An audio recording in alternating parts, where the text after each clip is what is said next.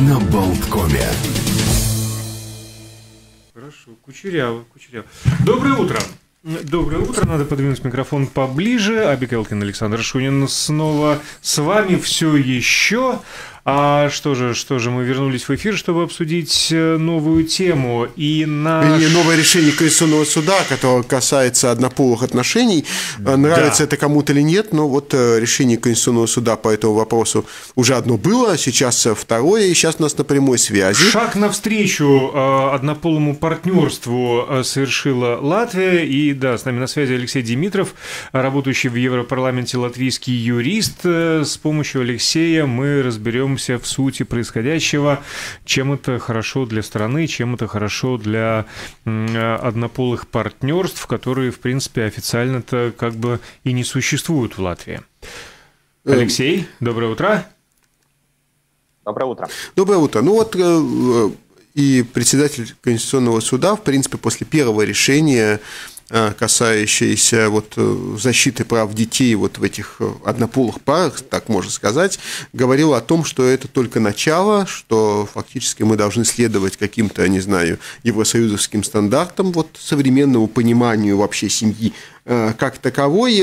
Что здесь можно сказать? Действительно ли вот Конституционный суд Латвии пытается идти в фарватере вот этих общих евросоюзских тенденций. Мы сейчас не будем морализировать, хорошо это или плохо, но вот э, с точки зрения именно вот таких вот евросоюзовских, не знаю, правовых стандартов. Здесь надо сказать, что Европейский Союз, он, по сути, не имеет компетенции в области семейных отношений. Uh-huh. Что касается семейных отношений, это компетенция каждого государства в отдельности. Но э, действительно есть тенденция общая в Совете Европы, то есть это другая международная организация, в которую входит Более Латвия. широкая, да. Угу. И э, если мы посмотрим, допустим, на практику Европейского суда по правам человека, то начиная с 2012 года, это было такое дело Шалк и Копф против Австрии, первый раз Европейский суд по правам человека сказал, до сих пор мы считали, что семейные отношения, защита семейных отношений касается только э, разнополых, людей.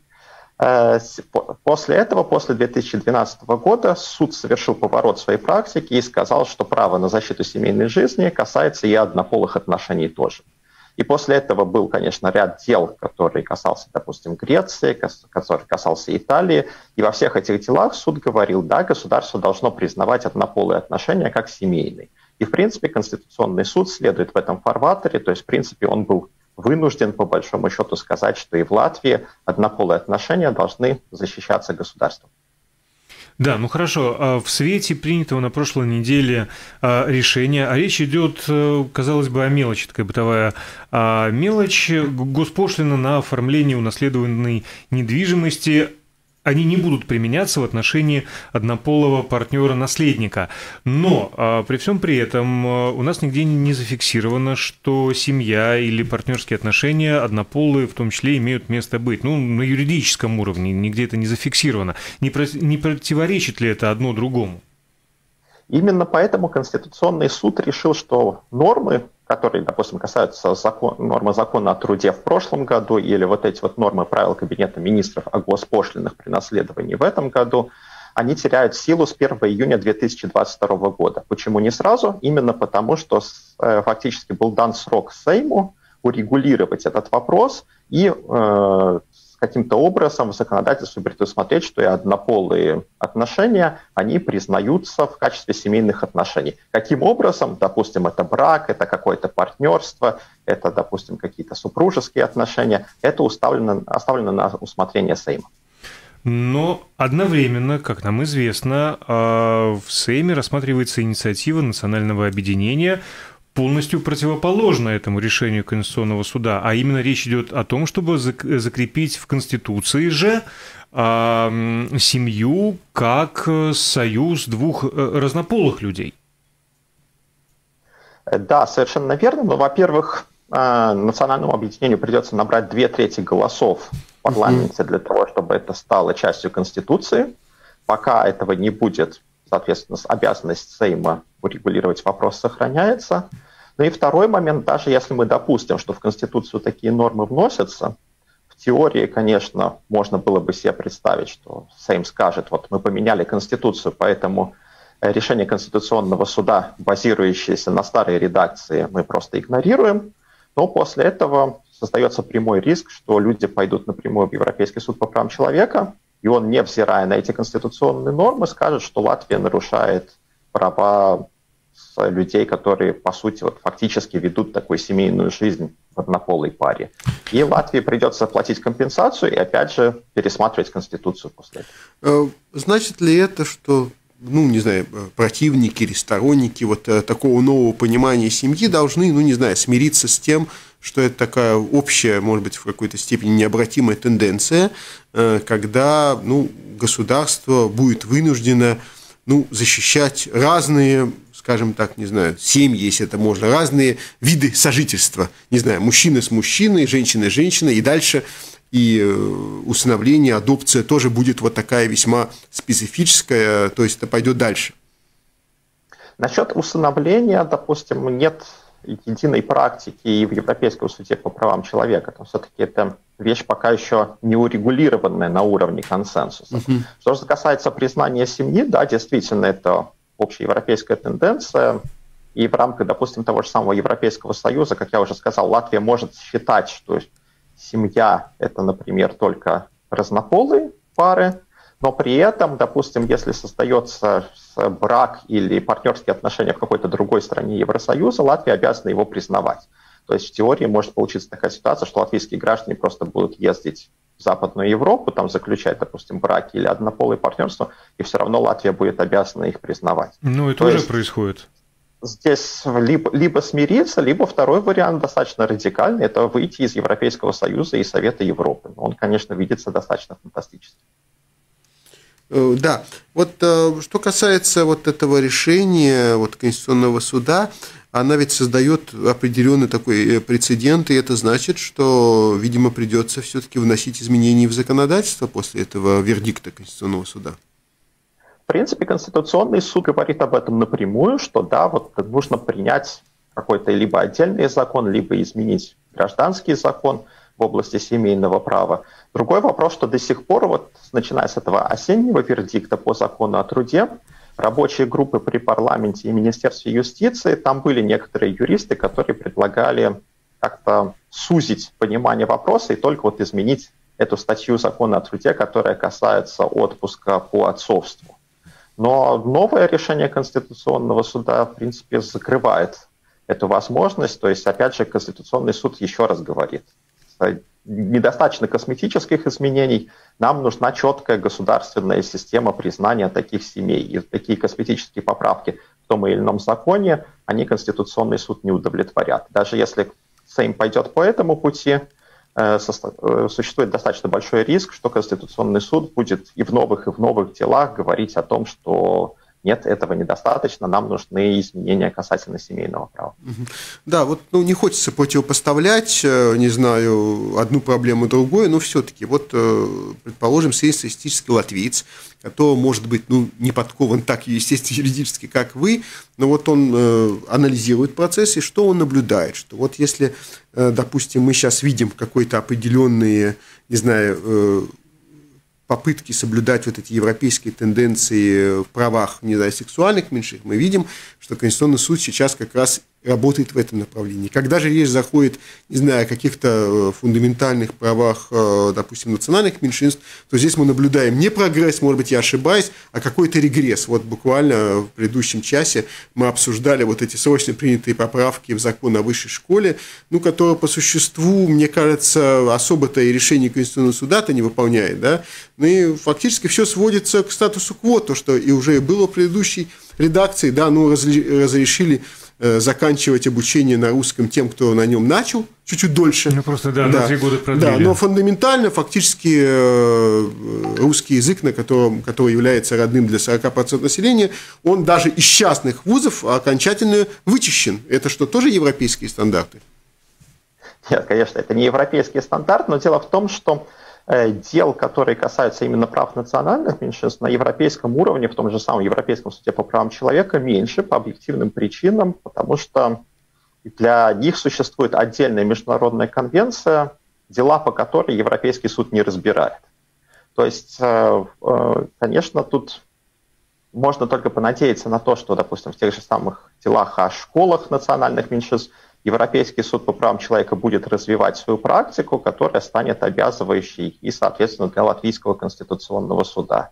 Но действительно, в деле, допустим, э, ЛГБТ э, практика Европейского суда по правам человека, она гораздо развитее, чем в делах о национальных меньшинствах, и поэтому тут трудно как-то уповать на эти нормы, когда мы касаемся дел в Конституционном суде.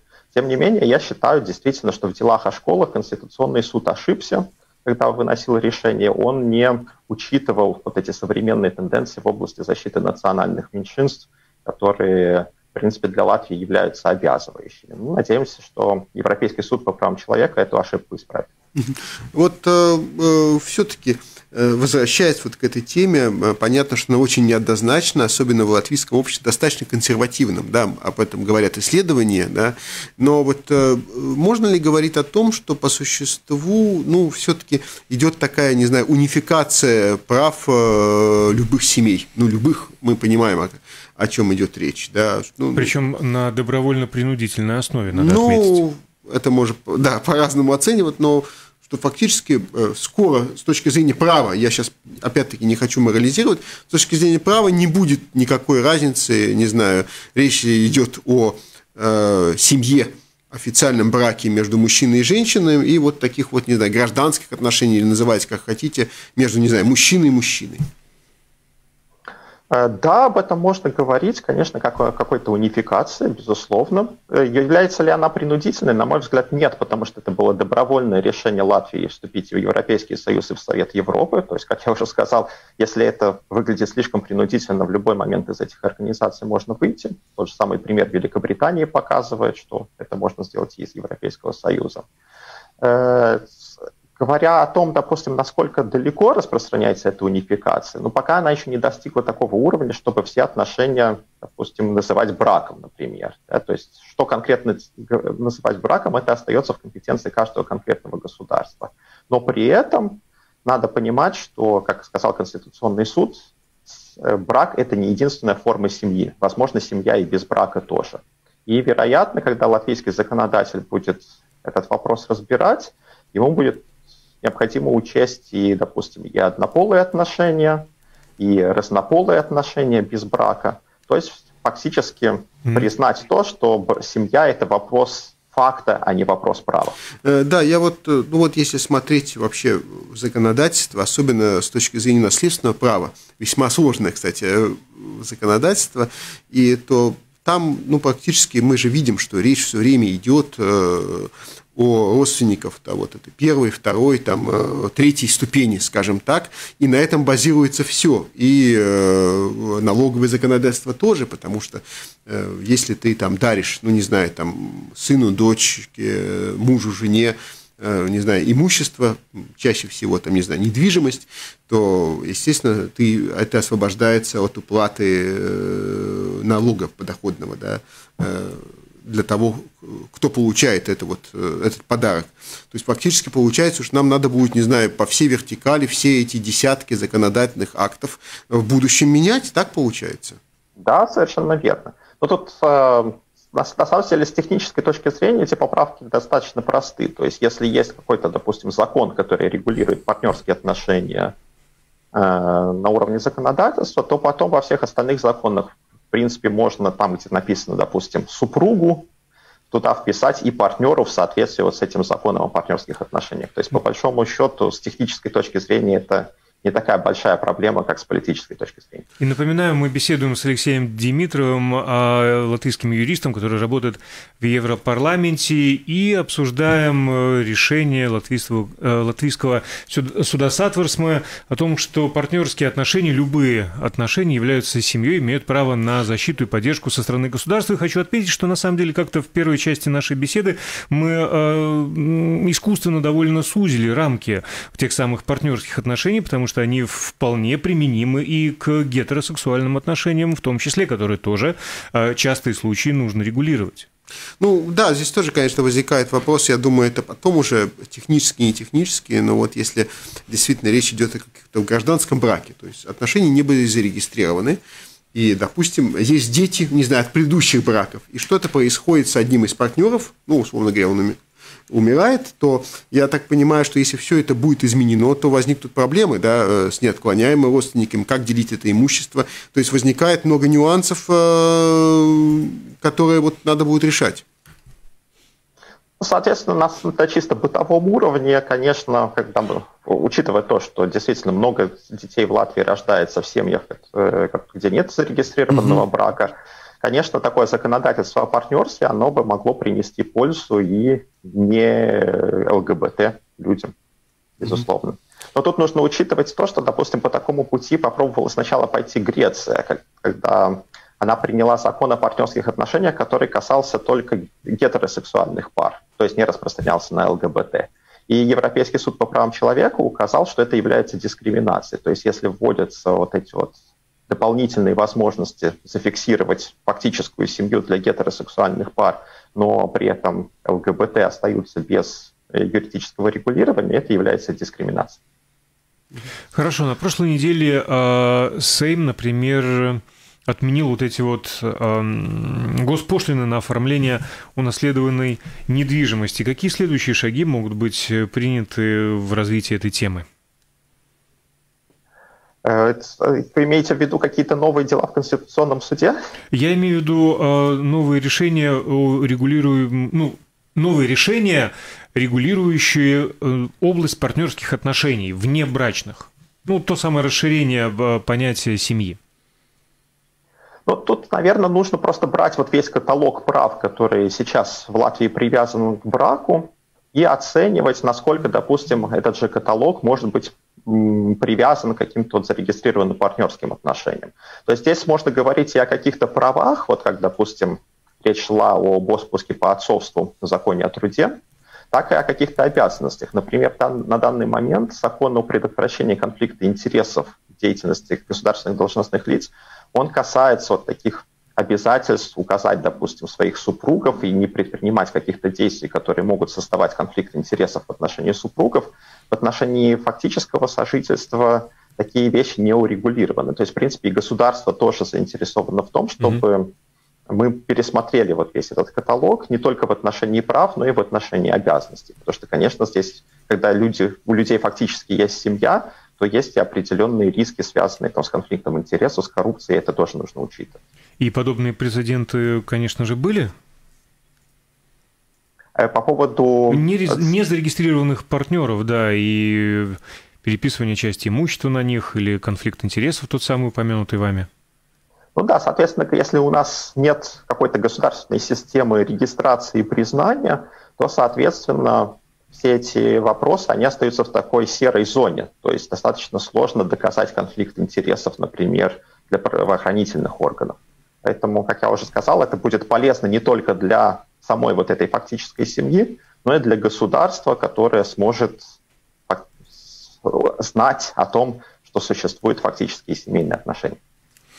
Предусмотрены ли какие-то меры, ну, скажем так, наказания за неприведение законодательства вот к этому общему, общеевропейскому образцу для Латвии. Я имею в виду штрафы. Ну, во-первых, нет какой-то меры, которая касается исполнения решений Конституционного суда. То есть, в принципе, решения Конституционного суда являются обязательными для законодателя, для правительства, но нет каких-то штрафов. То есть, если Сейм, допустим, не выполнит эту обязанность до 1 июня 2022 года, то финансовой ответственности для Сейма не последует. Просто есть риск, что будут новые и новые дела в Конституционном суде, или, например, в каких-то делах Конституционный суд э, скажет, что вся полностью норма, допустим, та же самая пошлина, она теряет свою силу.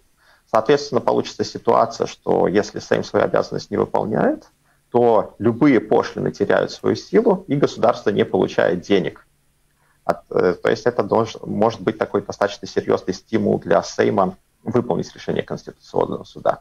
Если же мы говорим о каком-то европейском уровне, то действительно создается риск, что конкретные люди будут обращаться в Европейский суд по правам человека, и то, в свою очередь, будет накладывать штрафы на государство, которые будет необходимо заплатить.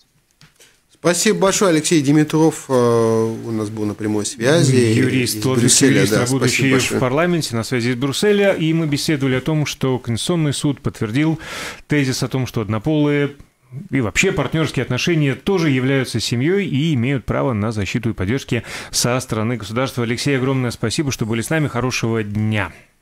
Спасибо, всего доброго. Ну что ж, а нам пора действительно заканчивать Видимо, наш эфир. Да, утро на Очень активный, много было экспертов, много тем успели обсудить, начиная от вакцинации заканчивая вот э, этой новой э, регуляцией семейных отношений. Да, и даже понятно, виртуально это... уже побегали, пробежали буквально э, рижский марафон, который состоится в конце августа. Но а, программа, конечно же, радио Балкон продолжается. Все свежие новости читайте на портале Mix News LV. Ну и услышимся, услышимся, услышимся. Хорошего дня дня. До свидания. Утро на балконе.